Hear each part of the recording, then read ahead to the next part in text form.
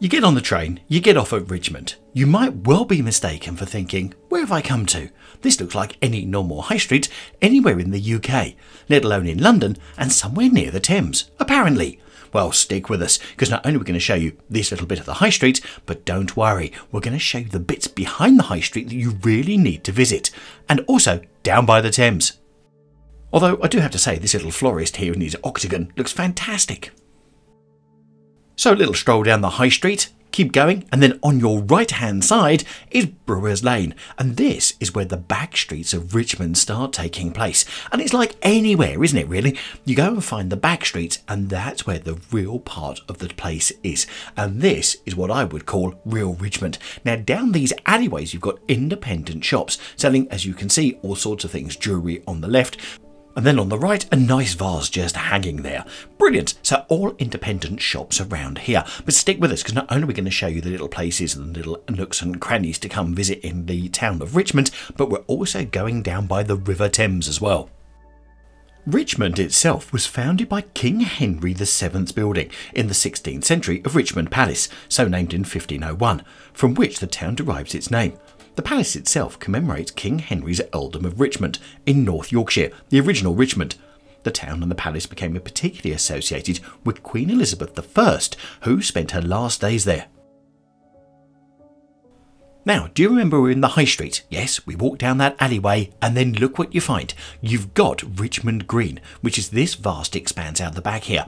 And you can see there's a square all cordoned off, which basically means you come down here during the summer. That will be a cricket pitch, so you can sit in the benches and watch the cricket going by. And also, the houses around Richmond Green are absolutely beautiful. No, I haven't looked at the price, but I know many people out there will do to see what the average price of a house around the green, yes, that's the name of the road around it. Yeah, look at that white one. Wow. Many of the houses around here are Georgian terraces and they actually survive and they're well preserved and been designated listing buildings on account of their architectural and historical significance. The whole area that we're in today was originally known as Sheen in the medieval period, and it was first recorded as so in the 10th century, and it survives in the neighbouring districts of East Sheen, also known as Sheen, and also North Sheen. Now, the manor entered the royal hands, and the manor house eventually became known as Sheen Palace before it was largely destroyed by a fire in 1497. Happens a lot in London, doesn't it? And that's when Henry VII rebuilt it in 1501 and then called it Richmond Palace does make you wonder, doesn't it, with all these fires that happen in and around London and then names changing. If someone had an ulterior motive, no, no, can't have done. Right, okay, let's continue with the history as we look down the side streets round by Richmond Green. Now, I've mentioned some of the royal connections already, but believe it or not, Henry I lived here briefly in the King's House in Sheens in 1299, and also Edward I as well took his whole court to the manor house at Sheen. In 1314, Edward II, after his defeat by the Scots in one of the battles up there, founded a monastery in Sheen, and the boy king Edward III came to the throne in 1327 and he gave the manor to his mother, Isabella. They spent some £2,000 on renovations, and it was later on in his life that he died at the manor. Richard II was the first English king to make Sheen his main residence, which he did in 1383. So we've got a couple of Henrys, we've got a couple of Edwards, and we've also got a Richard in there as well. And um, Henry VIII loved the area so much that the Great Park at Richmond uh, was one of his favourite places. Now we're going to be featuring that in a future video, all filmed and in the can and ready to go at some point in the future. And believe you me, it's worth waiting for. It's beautiful up there, just like these side streets. And once again, with galleries and little cafes and that down here, this is the heart of Richmond you really need to make sure you come to. And if you're looking for a street on the map, it's called Paved Court, and you can see why.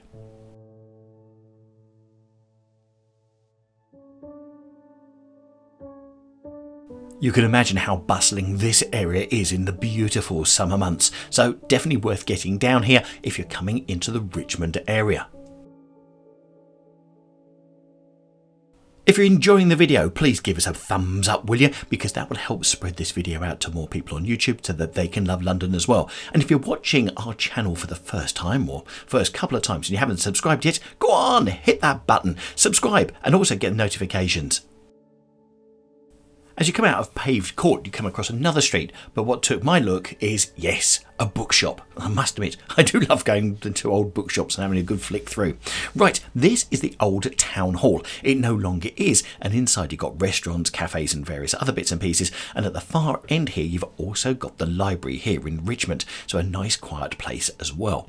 Now, what I love coming down here is you've got these cobbled streets, and the reason for these cobbled streets and this courtyard, this leads down to the banks of the River Thames. And this is going to be one of my favourite ways to approach the Thames here at Richmond because just as you get closer and closer, the whole Thames opens out in front of you. Absolutely beautiful.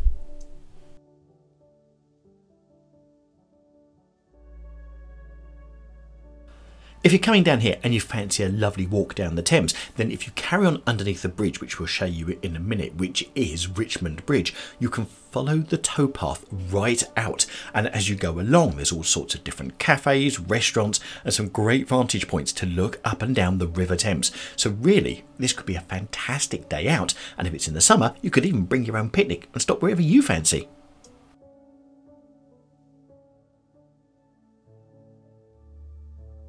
This bridge was built in the late 1700s, and before that, there were ferries that used to go across, and therefore, to replace the ferries, originally tolls were charged until 1859.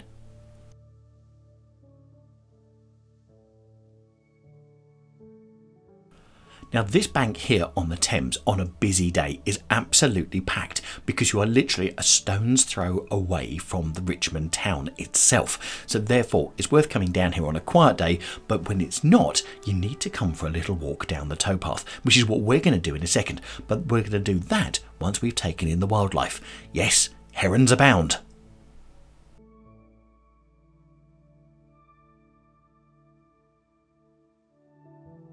So if you fancy taking a boat trip on the Thames out in the outer parts of the Thames, that's well outside London, then this is the ideal place to come here at Richmond. And of course, it's all on the Underground line as well, so there you go.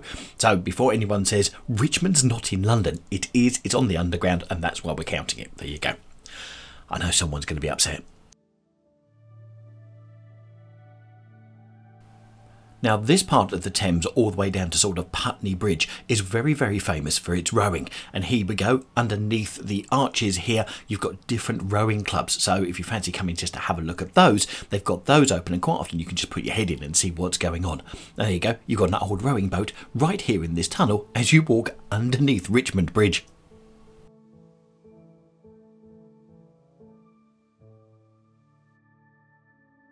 If you're loving some of the scenes that we're showing you here, then you need to pop to our website, londonvisited.co.uk, go on the photos bit, and you've got a chance, if you would like to support the channel, to buy some photos from this video, all in 4K, and they're only under £3. So if you fancy supporting the channel, it's the place to go to.